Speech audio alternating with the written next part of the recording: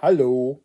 Ich stehe hier, wie so oft in letzter Zeit, weil es einfach am praktischsten für mich ist. Aber heute wird nicht konsumiert, zumindest nicht gegessen und nicht getrunken. Nein, heute wird geunboxed. Ähm, was kann man ja ein bisschen erahnen am Thumbnail, wenn ich den so hinbekommen habe, wie ich dachte. Wenn nicht, dann wisst ihr es nicht. Dann, dann sieht man, wenn man es nicht erachten kann, dann ist nur das hier als äh, Thumbnail. Wir werden sehen, was es am Ende ist. Also, wie man sieht, ist es ein Amazon-Paket. Paket aus England, also UK, bestellt. Wer äh, vor einer Weile war ein, äh, eine Bla-Folge gehört, eine bestimmte, oder habe ich es in irgendeiner anderen Sache erwähnt? Egal, der weiß, ich habe hier was bestellt und das wird jetzt geunboxed und demnächst auch nochmal anderweitig verwertet. Also, machen wir es auf. Ähm, ging dann, nachdem ich die schnelle Versandmethode gewählt habe, sehr gut. Das ging dann die drei Tage, die es gedauert sollte, ohne Probleme. Tracking, alles. Nur eine E-Mail, dass es geliefert wurde. Die kam, glaube ich, nicht. Komischerweise, weil wenn man vom Deutschen mal so was kriegt, das geht immer sofort. Vom Englischen scheinbar nicht. Oder britischen. So, also machen wir auf, damit Spannung nicht noch weiter. So, und, brr, ui, aha, so ist es verpackt. Tut, tut, tut, tut, tut, tut, tut, tut, tut, tut, ui, jawohl. Die Kandagawa Jet Girls sind's. Yay! Meine äh, Lieblingsanime-Serie wäre vielleicht der falsche Ausdruck, aber eine, die ich zu wertschätzen gelernt habe. Und es ist die UK-Version. Warum ist es die UK-Version? Ähm, ui. Okay, also ähm, Complete Collection. Das ist eine Complete Collection. Das ist schon mal das eine. Es ist also, das Bild ist wirklich so überstrahlt, das Cover. Ich habe gedacht, das ist vielleicht die Abbildung bei Amazon und Co. Aber die haben das Motiv wirklich für mein Empfinden überstrahlt. Also der einzige Nachteil, den ich hier für mich persönlich erkenne, ist, das deutsche Cover ist ein bisschen besser. Das Ding ist aber, in Deutschland werden die Teile, werden die in zwei Volumes verkauft. Eine pro Disc gibt es ein Volume und jede Disc kostet so, je nachdem, wenn man Glück hat, ein bisschen unter 40 Euro. Das ist für deutsche Anime-Verhältnisse relativ akzeptabel noch. Für meine persönlichen Einkaufswünsche äh, für den Arsch, die können mich mal gern haben, spinnt's ja völlig. Ähm, vor allem, weil hier, also, aber auch in Deutschland ist das Ding ein halbes Jahr früher rausgekommen. Das kam jetzt Ende Mai, glaube ich. Bin zufällig drüber gestolpert, wie ich letztens was anderes gesucht habe. Ende Mai erst in England oder UK. Bei uns seit einem halben Jahr. Ich habe es ja auch damals äh, besprochen für ein Printmedium, wie man wissen könnte. Ähm, und das Spiel auch übrigens. Das Spiel ist von Popo, muss man nicht spielen. Die Serie hier ist wirklich gut. Aber da werden wir nochmal ausführlicher drüber reden in einem Video. Hui. Damit ohne diesen ganzen Auspackquatsch, damit die Leute ähm, nochmal draufklicken, wenn ich Glück habe. Ähm, ja gut, jedenfalls, also UK, komplette Sammlung. Und äh, für mich war sie besonders günstig, weil ich bei der Bestellung einen scheinbar ein Wochenende mit Rabattaktion oder so erwischt hatte, ich weiß es nicht. Aber regulär kostet es, wenn man es bei Amazon bestellt, was ich empfehlen würde, trotz allem Ärger nicht mit der Bestellung hatte, siehe irgendeine Bla-Folge vor ein paar Wochen, ähm, 29 Pfund, glaube ich, waren es. Und wenn man die schnelle Versandmethode wählt, die ich empfehlen würde, unbedingt, äh, nach den letzten Erfahrungen, dann sind wir bei 34 Pfund. Dann kommen wir mit Umrechnungskurs auf ungefähr 40 Euro. Also halb so viel, nur ungefähr, wie das Ding bei uns jetzt immer noch kostet. Ich glaube, zum Release war es sogar noch ein bisschen teurer. Also, dann haben wir, äh, wie man sehen kann, hier, das ist die britische Version. Mal gucken. Man wird es in der Auflösung nicht so ganz gut lesen können, aber wir haben hier zum Beispiel 18 wegen contains sexualized nudity.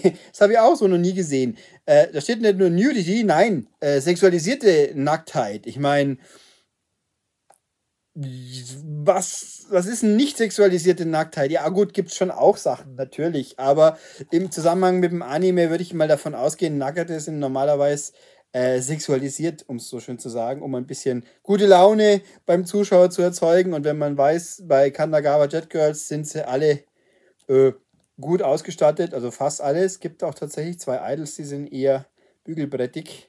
Aber der Rest dafür hat man, die, das wird kompensiert von der quasi Bösewichtin und ihrer, äh, ihrer Maid. Die haben dafür das Doppelte und Dreifache. Egal. Jedenfalls Ich gehe also davon aus, ich weiß es tatsächlich nicht. Ich gehe davon aus, dass es die Uncut, wie in Deutschland. Deutschland auf Blu-ray ist Uncut. Die, die Streaming-Ausstrahlung bei Wakanim ist definitiv überarbeitet. Es gibt es bei Animax auch noch, da kann ich es eigentlich sagen, weil ich den nicht abonniert habe. Äh, da steht zwar irgendwas von der 18, also es könnte sein, dass bei Animax die Uncut läuft. Weiß ich nicht. Der Knackpunkt ist aber auch noch ganz wichtig für mich persönlich. Äh, relevant. Die deutsche Synchro ist nicht, nicht ganz furchtbar, aber ich kann aber auch nicht besonders toll.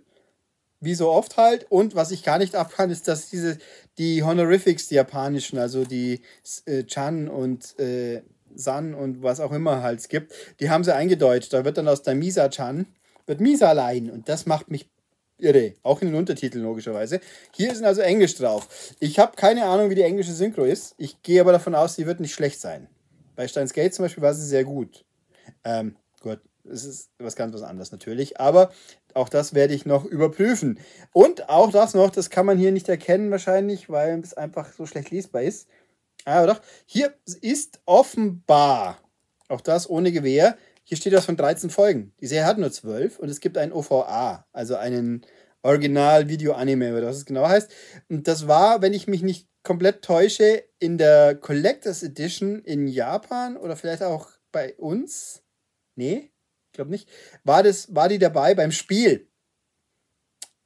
Weil ich habe zwar die verpackte Fassung aus Amerika importiert, aber das, da war er gleich nicht drin. Also hier ist er anscheinend drauf, der ist in der deutschen Fassung auch nicht drauf. Es ist jetzt nichts Wichtiges. Es ist keine Handlungsfortführung, auch die Charaktere, die im Spiel exklusiv sind, kommen hier nicht vor.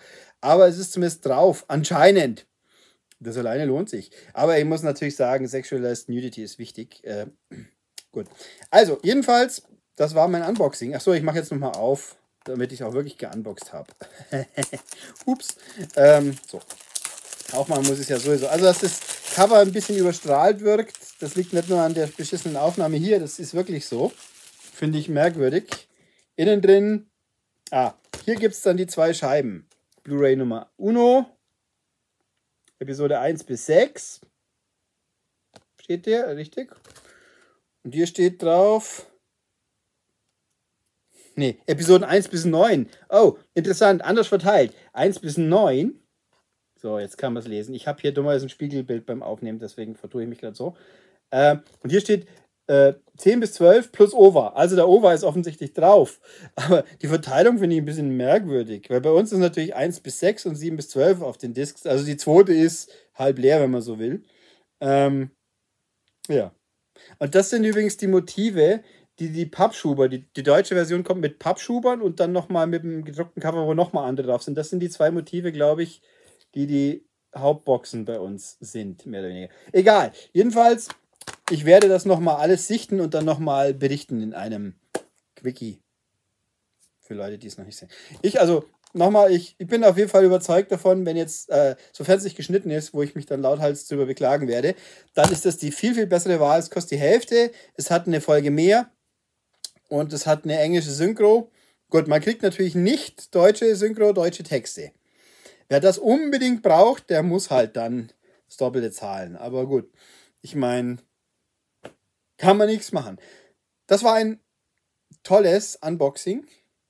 Ich hoffe, Bumsi vor allem hat es gefallen, weil wenn es ihm nicht gefällt, dann weiß ich nicht, für wen es noch gut sein sollte. Ähm, ja, wie gesagt, demnächst gibt es noch einen Quickie irgendwann mal dazu, der das bespricht. Alles. Der wird vielleicht ein bisschen kürzer sogar, wer weiß das schon. Obwohl, da gehe ich dann auf die Story ein, wieso und weshalb. Egal. Jedenfalls mal ein Unboxing, damit nicht immer bloß Fanpost ausgeboxt wird. Wobei ich noch nicht weiß, wann die nächste kommt. Schauen wir mal. Egal. Das war es jedenfalls. Und ich hoffe, ich kriege meinen coolen Thumbnail hin. Oder ich habe ihn hinbekommen. Das habt ihr natürlich ganz am Anfang schon gesehen. Ich jetzt noch nicht. Bis zum nächsten Video. Tschüss.